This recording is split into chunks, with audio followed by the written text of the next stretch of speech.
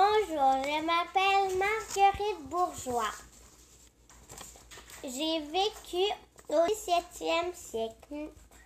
je suis née en France. Euh, j'ai été en Nouvelle-France la première institutrice.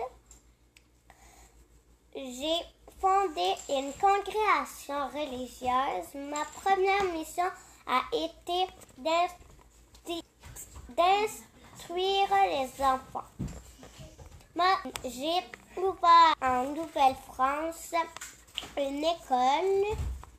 J'ai eu comme amie Jeanne. J'ai accueilli les filles du, du roi.